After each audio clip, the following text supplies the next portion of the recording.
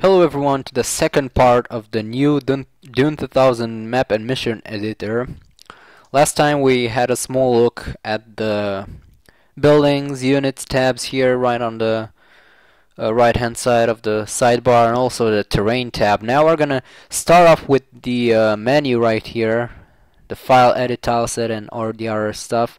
And then we're gonna have a small look at the uh, mission scripting so pretty much the mission settings and events and conditions uh, parts of the the editor. So let's go ahead with the uh, with a file. We can make a new map open on or even reopen the map. So let's say you added all this crap here and you you you just change your mind. You don't want this at all. So you don't feel like removing everything or closing the program or selecting open map and then browsing for the map file again. You just click reopen map and it's gonna reopen from the last I mean the last saved version it's gonna reopen it. Now one really neat thing is that you can actually click save map image and it's gonna save a BMP file wherever you want. Let's go ahead and check it out. Look this is amazing. It's actually uh, rendering the structures too. So you can you can make previews of your missions really easily. And yeah it's very very handy Going to the edit, you get your basic undo, redo, copy and paste. The tile set, you can select any tile set you want. Select next, I guess, goes to the next one in the list. Load image and load attributes, well, these are pretty much a little bit more advanced stuff that we're not going to cover now, but they are really useful. You can actually load a tileset image. I guess this is for custom uh, tilesets, I believe. I'm not really sure. Attributes, th these are pretty advanced things that you probably don't really want and we're not going to cover them in the tutorial. I'm not really sure about them either. You get a grid this time, so if you really want, but this is, if you really, sometimes it's actually useful, but yeah, if you if you need it, you you have it. Just so you know, you get a draw concrete. You you can actually disable or enable it underneath the buildings another awesome feature because they look much better with concrete underneath mark impassable tiles this pretty much shows you where you cannot pass or only infantry. Mark buildable tiles this is another great one. Since it shows you where you can put down buildings without problems anyway you get the uh, red rectangle red white rectangle when you're placing a structure too so yeah. They are pretty much the same thing. Show unknown specials this is for some interesting uh, things I guess in the map like those weird area 1 that uh, Westwood or Intelligent Games whoever made the missions used in some some uh, some maps. I believe that's that's what the unknown specials or maybe not. Maybe that's marked defense areas. I don't know. Honestly I don't know what this one's doing.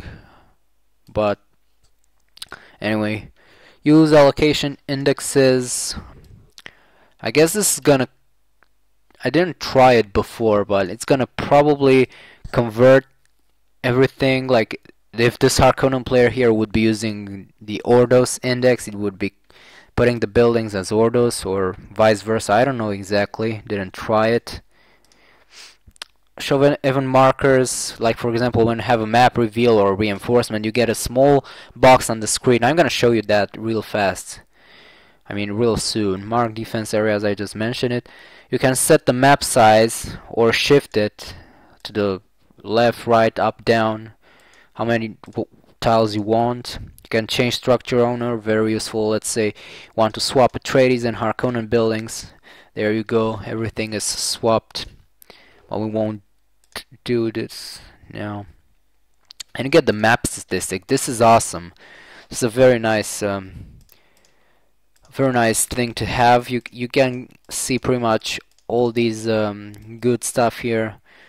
If you really need the, these statistics, you get here. You get them here and they can actually help you a lot when you are trying to get you get the power output power percent walls even walls it's showing you even walls a very very much detail put into this uh, yeah alright now I already talked about these in the last tutorial. You can actually launch with settings. I, I didn't configure it, but once you do it, you can actually use the quick launch to simply go. The, the game is going to open and the mission will be there pretty much. So let's go ahead and go with the mission settings. You can easily select alliances this time. You get the auto set both sides checkbox. So if let's say we want to ally Atreides and Ordos, you don't have to do it twice. You'll just click somewhere and they're gonna both uh, turn into ally or neutral or whatever you want. If we disable this then it's gonna be only one side you see. Uh, the the Atreides are not changing allegiance to the Fremen automatically. If we select it back, we get both of them changing. And reset allegiance if you want to have the default basic one. Tech levels, self-explanatory, same as these ones. I'm not gonna go into details about this. You can set the money to everyone pretty much. Oh, that's tech level, I guess. Yeah, it only allows it doesn't allow that much, I guess. So yeah, you can pretty much select all this stuff here. Time limit. I'm pretty sure remember this. You get the AI editor here which means that you can pretty much edit everything about the AI. So literally everything. And I'm not going to cover this right now but maybe I'm gonna yeah I'm gonna make a tutorial about these functions some of them that are really useful so you can know how to edit your own AI you can select it for any site. You can simply copy paste it. You can see the difference. If uh, this pretty much shows you the values that are not the defaults. You can export and import it whatever you want to do. Now you can use the INI file, uh, the new mission launcher supports and Funky Fresh's patches. You can actually change some of the rules. Uh, for example, changing the crate cash when you collect a crate and it's a money crate, it's gonna give you whatever value you put in here. Um, let's see what else we got. Death Hand ac accuracy. If you put it to one, the Death Hand will never miss. Infinite spice. This is pretty much uh, the thick spice will be impossible to deplete. So when a harvester goes over this uh, thick spice, these two things right here that you can see, I'm hovering the mouse over them. Uh, it's not. They are not going to disappear. They are gonna sit there forever. That's infinite spice pretty much. You can put a map name, a map author, and a music play as you select your side here I mean the human player side. Mission number this is for briefings. I really suggest you to keep on zero because people don't generally use in-game briefings anymore. You would need some special additional files that we're not going to cover now. This is the briefing here.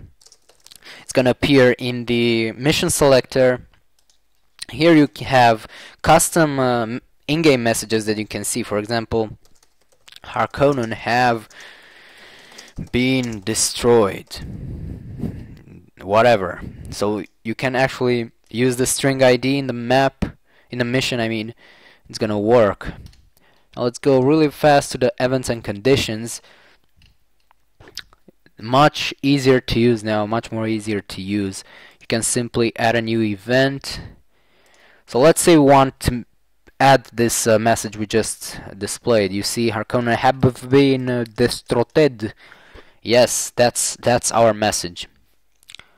Now, generally, you would want a condition for this, of course. So we're gonna go ahead and say base destroyed Harkonnen.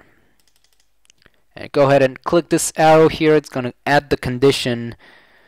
And now you hit apply and you do remember, I'm not sure if you do remember, I made a tutorial about text messages in which if you just put it like this, once the Harkonnen lost their buildings, the message will repeat all over again on the screen in an infinite loop. Because the game constantly checks for the condition if the Harkonnen base is destroyed. And since it is it's going to continuously display the message. So this is why you had to use dummy conditions and um, flags and all this kind of shit to have it run only one time. But Klofkač has made it really easily. You just right click it and if you want to run only once you just hit this. And you have it. It's gonna set up the dummy condition which is now called set flag in this new editor. It's gonna uh, put it for you. So this is very very useful. And you also have uh, some new events that did not exist in the old editors. For example leave.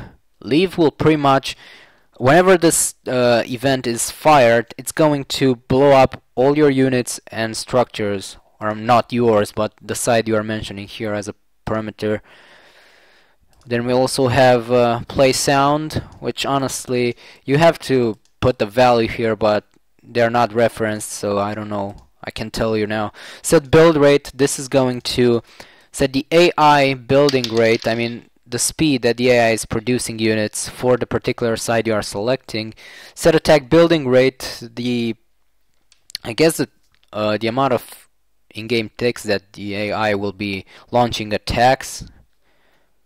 Again, you can select the side. Set cash and set tag pretty self-explanatory. We got two unsupported here, didn't try them. We got play music, guess plays, uh, this is a string I believe, I'm not sure. It probably is a string. So if you put it like Iraq attack dot AUD I don't know you can try it if you want I didn't mess around with this one so far so yeah as you can see they are very very interesting and the editor is awesome and it's really really improved and I really recommend you to go ahead and read this for example you can now place any building on unit for any site. In order to use this feature in-game, you must copy the file config slash tiledata.bin in your Dune 2000 data bin folder. So you pretty much have to do what it says here. Let's go ahead and check it out real fast. Config tile data. You copy this into your. I didn't do it before. I didn't want to open the games thing. Alright, let's go ahead and do it really fast data bin you're just replacing whatever you had there and now they're gonna work in uh, in game so yeah I'm gonna come with more tutorials about this editor I'm also wanting to have a pretty consistent look on the AI but for now this should be enough. So thank you guys for watching. Special thanks to Klofkač for making this awesome tool and for everyone else who's still making missions and uh, actually cares about this game. So yeah see you later guys and thank you for watching